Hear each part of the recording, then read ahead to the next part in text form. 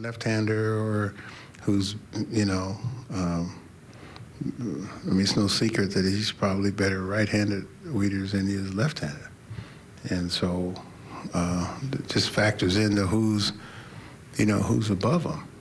Or you don't want to tear up your lineup by if I have to run for him, and if he's batting higher in the lineup, then he's in a behind Murphy or or Rendon or whatever. So, um, you know, it's not easy batting eighth, you know, but just depends who I got in the lineup at that time, whether he's right, left, how much speed.